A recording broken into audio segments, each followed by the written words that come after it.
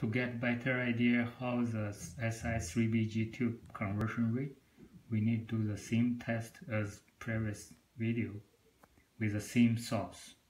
This tube has been installed on the GMC 500 Plus and the voltage has been set to the 382 volt.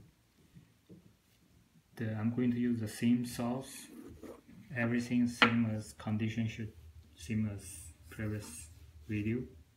Also with this firmware, we need to check to confirm the tube has been selected on tube 2 only.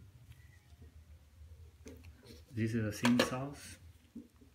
I'm going to place it under as close as possible to the tube here. Okay. Yep.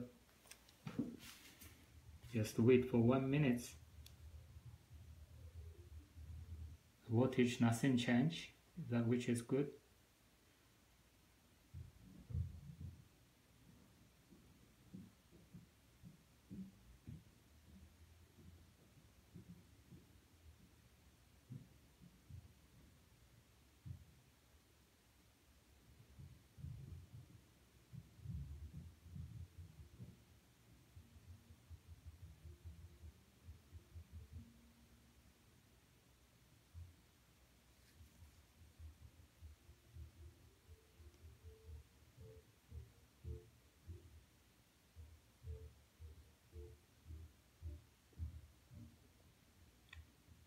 uncertainty.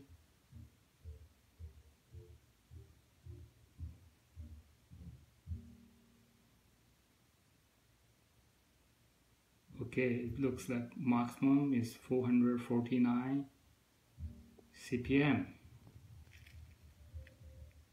on this tube. Voltage keeps same.